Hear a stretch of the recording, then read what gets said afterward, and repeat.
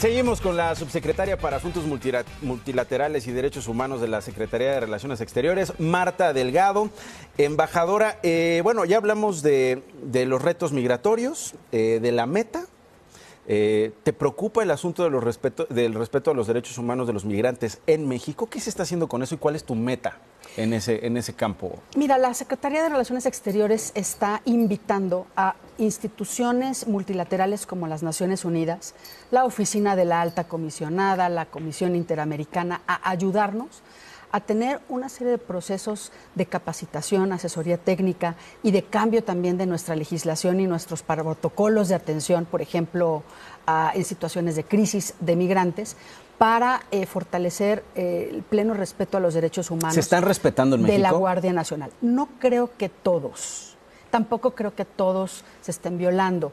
Necesitamos que esta sea una práctica consistente y sistemática del país, el respeto, y que las excepciones que pueda haber se puedan atender. Eh, ¿Qué derechos te preocupan que no se estén respetando? Pues mira, hay una serie, digo, desde la libertad de tránsito, desde que pues tengas un lugar digno en donde estar. México también está ahorita eh, renovando y volviendo a construir nuevos centros y albergues para atención de refugiados, de personas que están transitando, la alimentación, la atención de niños y menores no acompañados. Para esto, por ejemplo, México tiene 14 agencias de las Naciones Unidas que están involucradas de alguna u otra manera, la UNICEF, la ACNUR, la Organización Mundial de Migraciones. Estamos haciendo un esfuerzo grande, pero el, reto que tenemos es el tiempo, ¿no? Que lo estamos haciendo paralelamente y el reto que les pusieron de 45, 45 días y otros 45 días. ¿Llegaremos a tener tranquilo a Donald Trump? Pues mira, en el inter de que se tranquilizan, pienso que podemos mejorar también nuestra política migratoria. Eh, eh, se están violando los derechos humanos de niños mexicanos en los Estados Unidos que tienen enjaulados y que tienen en eh, condiciones paupérrimas. ¿Qué está haciendo tu subsecretaría al respecto? Mira, nosotros somos uno de los líderes globales en el tema de defensa de derechos humanos. A veces ciertamente nos sentimos un poco solos porque México es un país abierto al escrutinio internacional. Aquí vienen, hacen visitas, todo el mundo nos critica, nos señala, pero cuando se trata de otros países, por ejemplo, lo que ocurre desde en Honduras hasta Estados Unidos, las voces como que son un poquito más conservadoras, ¿no? México sí alza la voz, por supuesto por nuestros migrantes, y también eh, hay una serie de organizaciones en, Estados Unidos que tienen atención y que van dándole seguimiento a lo que pasa con ellos. Pero sí es una situación que es muy... Y se están violando los derechos humanos de los niños. Sí, se, sí se violan. Sí, no debe ser y no lo debemos permitir.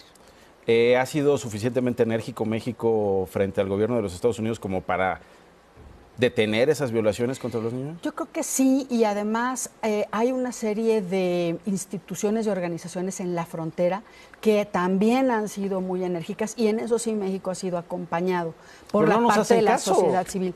Pues parte a veces sí, pues cuando se exacerba la opinión pública, entonces entran ¿no? a atender.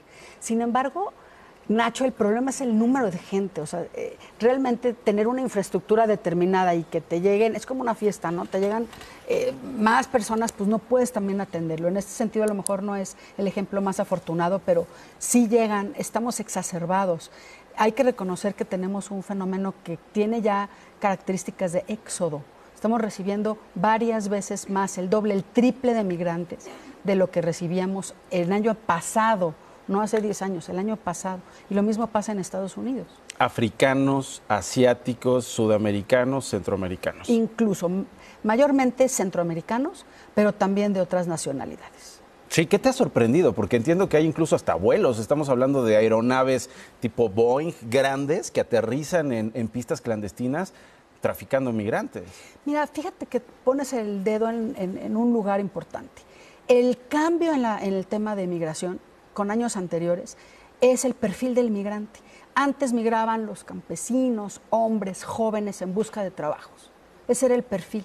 Ahora migran familias, migran mujeres e incluso tenemos un gran porcentaje de niños y menores no acompañados que van solos a encontrarse con sus familiares. Es tremendo. Y que le da miedo a los mexicanos verlos. De Pisa y Corre con Nacho Lozano. Lunes a viernes, 8 a.m. Participa en Imagen Televisión.